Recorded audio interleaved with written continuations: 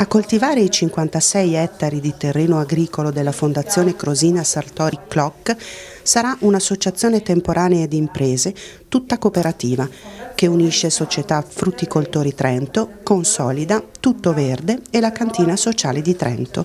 Saranno coltivate mele biologiche, uva, ma anche asparagi, pere e ortaggi bio, grazie a progetti di inclusione sociale. Il più grande progetto d'Italia di agricoltura sociale integrata con l'agricoltura ordinaria biologica, dice Italo Monfredini in questa intervista. Noi siamo stati un importante protagonista di questa gara che ci ha portato oggi all'acquisizione definitiva della, della, commessa ed è una scommessa anche culturale proprio perché ci interfacciamo con un mondo che è un mondo profit, è un mondo cooperativo, però un mondo che metta in centro l'impresa e la necessità di produrre un reddito di impresa.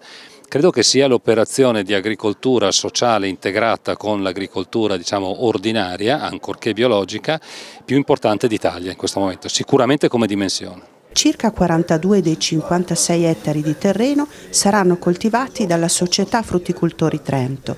Nell'intervista il presidente Riccardo Forti spiega cosa sarà coltivato e il coinvolgimento dei giovani. Principalmente l'area sarà destinata alla melicoltura, e, mm, in cui andremo ad introdurre delle nuove varietà club per andare a cercare di tutelare al meglio possibile il reddito.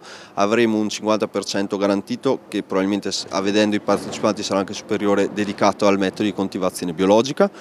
Introdurremo circa 3 ettari di asparago, sempre biologico, e poi andremo a provare dei nuovi progetti sulla pera per provare ad introdurre anche un altro tipo di frutticoltura per cercare di differenziare il più possibile il, il rischio impresa delle nostre aziende. Noi pensiamo di inserire tra i 7 e i 9 giovani perché uno dei nodi cruciali per l'agricoltura trentina sarà quella di riuscire a fare del turnover perché le aziende stanno invecchiando, non ci sono più i margini una volta per cui bisogna cominciare ad avere una, una certa superficie anche un po' e, e, allora così dare del terreno per poter far, far partire queste aziende.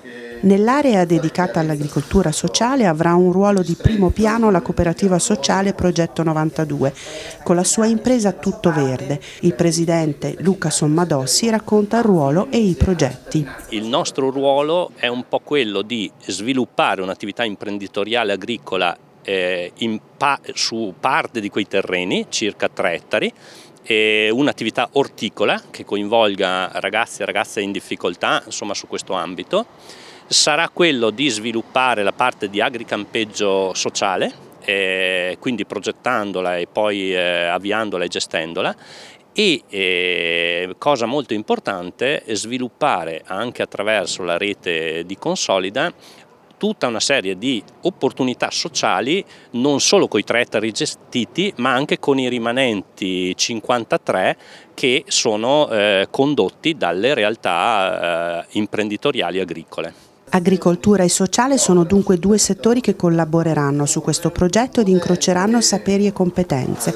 Sentiamo il ruolo di Consolida in questa iniziativa dalla sua presidente Serenella Cipriani nostro ruolo è quello di cercare di promuovere eh, anche dentro la cooperazione sociale il tema dell'agricoltura, agricoltura sociale che è un ambito eh, no, di, di, di, di, nuovo sviluppo per quello che è la cooperazione sociale, soprattutto quella eh, che si dedica all'inclusione lavorativa, all'inserimento sociale. Poi credo che è un'occasione di fare intercooperazione, quindi è un grande progetto dentro un biodistretto e che può diventare anche effettivamente un distretto cooperativo perché comunque comunque noi come cooperazione sociale possiamo contaminarci con, con quello che è il mondo agricolo per eccellenza, ma nello stesso tempo possiamo contaminare loro.